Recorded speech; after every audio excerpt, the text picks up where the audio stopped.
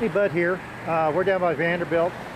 Uh, we stopped by to see the Deg Thai food truck, and uh, we're going to have them say a few words here about their menu in just a moment. But if you haven't tried it, this is really great. You can smell this food about a block away.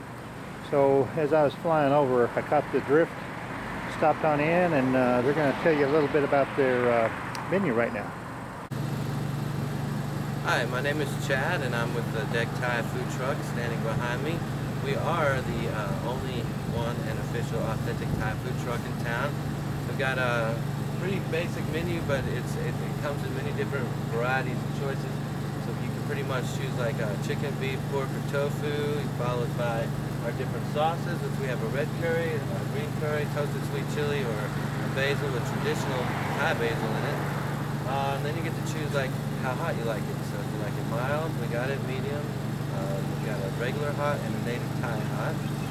Um, we are here. We're pretty much open six days a week, and you can find us on Twitter and Facebook. You can also go to our website, which is degthai.com.